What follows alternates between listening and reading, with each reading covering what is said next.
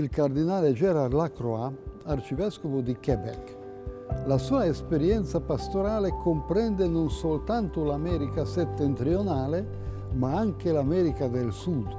Egli infatti ha lavorato come missionario per lunghi anni in Colombia. La sua parrocchia era grandissima e lui doveva visitare le sue chiese, le sue comunità anche usando i muli perché le, i sentieri nelle montagne non permettevano nemmeno il traffico con le macchine. Eppure, anche quando non avevano l'elettricità, con candele accese si sono radunati e hanno pregato insieme nella chiesa. Per la comunità il momento eucaristico era veramente fonte di forza, fonte di gioia e fonte di energia per tutta la settimana. Quebec è stato anche il luogo dove si celebrava una volta un congresso eucaristico internazionale. I frutti pastorali di questo congresso sono tuttora presenti in quella diocesi e il cardinale Lacroix può rendere testimonianza di tutta questa ricchezza, malgrado le difficoltà, malgrado i fenomeni della secolarizzazione che sono pure presenti nel nostro mondo.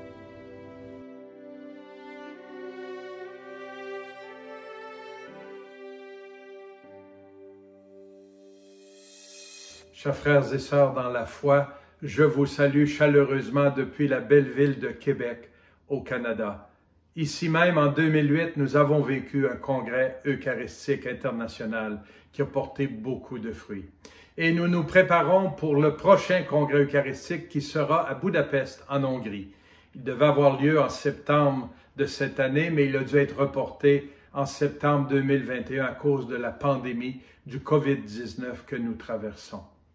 Oui, cette pandémie a laissé euh, beaucoup de gens avec toutes sortes de réflexions, de craintes, de peurs, d'angoisse même. Raison de plus de nous approcher du Seigneur. Lui qui nous dit toujours, c'est moi, n'ayez pas peur. Faites confiance, je suis là. C'est Jésus qui a dit aussi à ses disciples, juste avant de retourner auprès de son Père, et moi je suis avec vous tous les jours jusqu'à la fin du monde l'Eucharistie est cette présence du Seigneur qui fait route avec nous.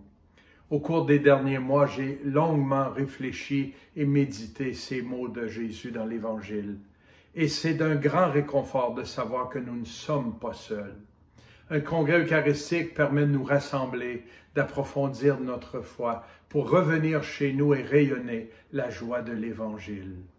On s'est rendu compte au cours des derniers mois combien nous ne pouvons pas vivre sans l'Eucharistie. Sans cette nourriture de la parole de Dieu, de la communion eucharistique, mais aussi de cette communion fraternelle qui nous rassemble, nous, ne pouvons pas avancer dans la foi et être de véritables disciples missionnaires au cœur du monde. C'est pourquoi euh, je pense que cette pandémie nous laisse une invitation à avancer dans la foi, dans la confiance et nous laisser envahir le cœur, nourrir le cœur par cette source qui est sûre, qui est celle de Jésus présent dans l'Eucharistie, lui qui nous amène, qui nous conduit à la communion profonde avec le Père et l'Esprit Saint et entre nous, lui qui bâtit l'unité.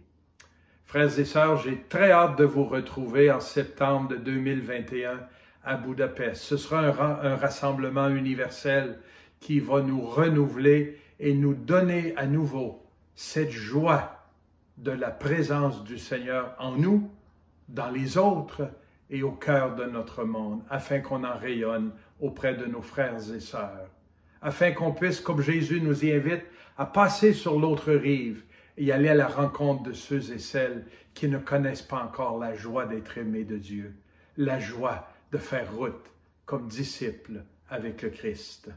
Que le Seigneur vous bénisse et à très bientôt à Budapest.